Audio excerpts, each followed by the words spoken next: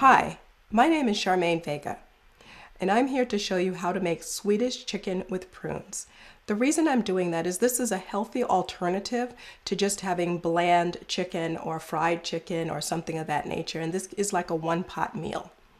The first thing I did is I took the chicken and I actually oven roasted it with a little bit of butter in the pan. Now what I would do is I add a half a cup of soy sauce.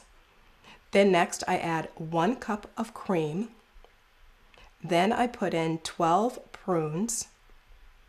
Next I did one diced apple. And then I did three diced red potatoes that were already pre-boiled in um, one and a half cups of chicken broth. And so what I did now is I've added that, I've added all of these ingredients.